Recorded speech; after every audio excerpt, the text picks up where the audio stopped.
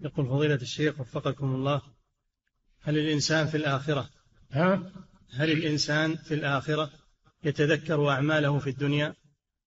يلقاها أو يتذكرها يلقاها عيانا مكتوبة في كتاب لا يغادر صغيرة ولا كبيرة يعطى كتابه ويقال له اقرأ كتابك كفى بنفسك اليوم عليك حسيبا اقرأ كتابك. فلا ينكر منه شيئا. لا ينكر منه شيئا. نعم.